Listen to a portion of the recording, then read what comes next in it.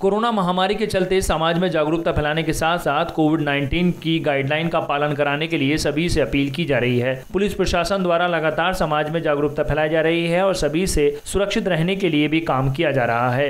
धार्मिक स्थलों पर इस समय भारी संख्या में भक्त पहुँच रहे हैं तो सभी धार्मिक स्थलों पर युवा समाज सेवी आशु द्वारा सैनिटाइजर और मास्क की व्यवस्था कराई गई है, जिससे सभी लोग सुरक्षित रह सकें। आशु का ये कहना है कि सभी धार्मिक स्थलों पर सैनिटाइजर की व्यवस्था कराई जा रही है जिससे सभी भक्त मंदिर में पहुँचने से पहले अपने हाथों को सैनिटाइज कर ले। सभी से उन्होंने अपील की है कि इस समय कोरोना महामारी का दौर चल रहा है और सभी लोग सरकार द्वारा दी गई गाइडलाइन का पालन करें। इस अवसर पर उन्होंने नवरात्रि और विजयदशमी की शुभकामनाएँ भी दी। मेरी सुविधा एक दी जा रही है सैनिटाइज मशीन भेंट की गई है।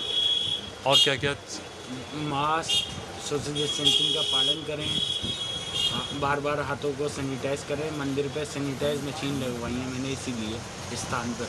कौन से मंदिर में लगवाए लाल बाग श्री काली देवी मंदिर बड़ी काली देवी मंदिर छोटी काली देवी मंदिर। जैसे अभी कोरोना महामारी चल रही है तो इसे देखते हुए क्या अपील करना चाहेंगे महानगर वासी मैं जी महानगर वासी से ये अपील कर रहा हूँ सोशल डिस्टेंसिंग का पालन करें मास्क लगाएँ और दूरी बना के चलें और सरकार की गाइडलाइन से चलें।